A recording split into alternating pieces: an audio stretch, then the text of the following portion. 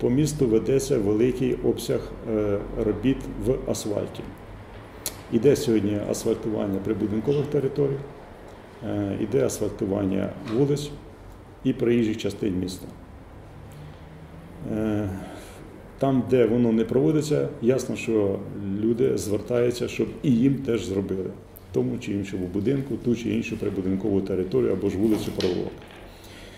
Е, Я хотів би сказати дві речі. Перше, в цьому році вперше такий великий об'єм робіт робиться через те, що у нас е, є суттєве перевиконання бюджету за перше півріччя.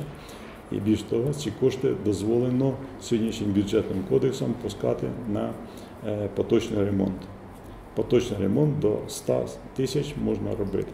Через що в цьому році, цим літом, робиться такий великий об'єм робіт. Друге, що я хочу пояснити, порядок використання цих коштів і порядок е, виконання робіт по місту. Чому робиться та, а інша вулиця?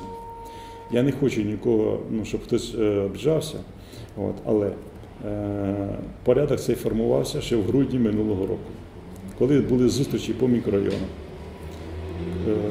Проводилися прийоми е, мною як міським головою, моїми заступниками. Є звернення депутатів. На початку року формувався план робіт на 2015 рік.